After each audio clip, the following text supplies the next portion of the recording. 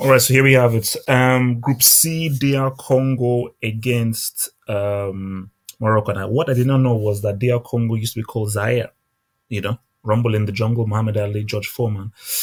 DR Congo, excellent, excellent performance in the last Nations Cup, reaching the final four. Um, Ibenge, again, a local coach, which is what I love. Incredible achievements yes, they've had these issues of players' bonuses and everything. Why players should need bonuses to play for their countries, I don't know. But I think same issue happened with Zimbabwe. Look at how well they played. They should have beaten Algeria. I don't think this will have any bearing on their preparations. I believe that hopefully these guys, as long as they carry on what they did two years ago into this, they should beat Morocco. As for Morocco, I mean, let's just get it straight. Have Hervé Renard, you know, the coach for Morocco, he isn't some kind of savior. What he did with Zambia was amazing. That was down to coaching. What he did with Ivory Coast was not down to him. For me, for Ivory Coast, again, in that final, Ghana should have won that final. And penalties is a lottery. There is no coaching involved in penalties. It's about the, the players. So I think credits, giving credits for what he did with Zambia, I give him no credits for what he did with Ivory Coast. And what can he do with Morocco? Yeah, he will definitely bring in some good tactics, some good organization. He he he demands, he demands full on effort from all of his, his players.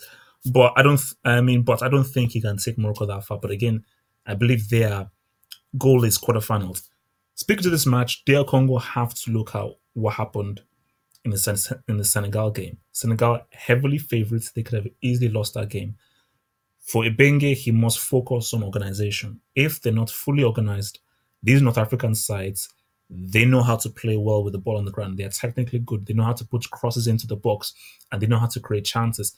And DR Congo cannot afford to give Morocco the kind of chances that Senegal gave them. So, DR Congo, yes, they're favorites. They should win this, but they should be professional with how they go about it good shape, moving the ball around well, defensive organization. Keep it zonal, mark your space, don't come out of position, but go out, go out, go out Morocco and really express themselves. If they do the basic stuff well, the defense of the organization, then that allows the, the individuals to express themselves. And again, for Mulumbu, the captain of the team, he's now going to drive this the side forward. But I think you know for Morocco, if they can upset their Congo, pick them apart defensively, then maybe they can try and get something and do what Tunisia were not were unable to do against Senegal. But re- regarding this match, um, I see this as being one-one.